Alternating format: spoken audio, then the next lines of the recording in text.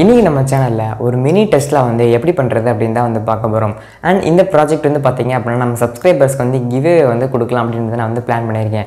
நீங்கள் இந்த கிவ்வேல ஜாயின் பண்ணி வின் பண்ணணும் அப்படின்னா ஒரு சில ஸ்டெப்ஸ் வந்து நீங்கள் வந்து ஃபாலோ பண்ணணும். என்னென்ன அப்படிங்கிறது கிளியராக வந்து கேட்டுக்கோங்க. ஃபஸ்ட் என்னென்னு பார்த்தீங்கன்னா இந்த ப்ராஜெக்ட்டை உங்கள் ஃப்ரெண்ட்ஸ் எல்லாத்துக்குமே ஷேர் பண்ணணும்.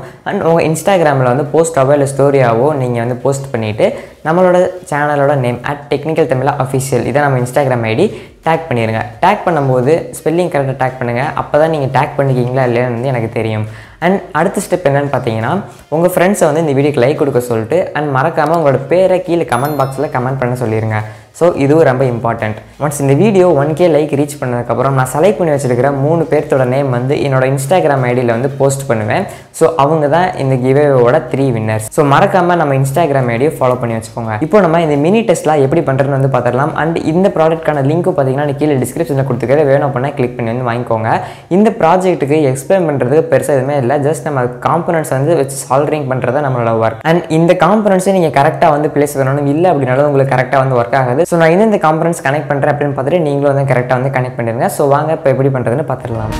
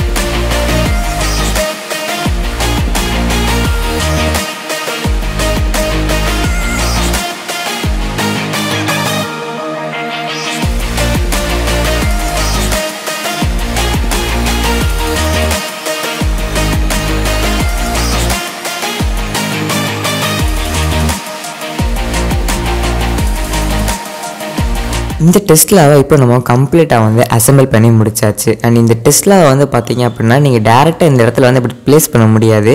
ஏன்னா இந்த இடத்துல வந்து பார்த்தீங்கன்னா ஃபிக்ஸ் பண்ணுறதுக்கு எதுவுமே கிடையாது. ஸோ நீங்கள் க்ளூ குனோ இல்லைனா ஃபெஃபிக்விக்கோ போட்டு நீங்கள் இதை வந்து இந்த இடத்துல பேஸ்ட் பண்ணிக்கோங்க. இதுக்கு வந்து பவர் சப்ளை பார்த்தீங்க அப்படின்னா நான் ரெண்டு லித்தியம் மயன் பேட்டரி வந்து யூஸ் பண்ணுறேன் three point seven volt battery இல்லை அப்படின்னா நீங்கள் HW nine volt battery use பண்ணி இதுக்கு வந்து பவர் சப்ளை வந்து கொடுக்கலாம். அண்ட் இந்த மாதிரி ஒரு ஜாக் யூஸ் பண்ணி இதுக்கு வந்து பவர் சப்ளை வந்து கொடுக்க முடியும். இப்போ நம்ம இதுக்கு பவர் சப்ளை கொடுத்துட்டு ஆன் பண்ணி எப்படி ஒர்க் ஆகுதுன்னு வந்து டெஸ்ட் பண்ணி பார்த்துடலாம்.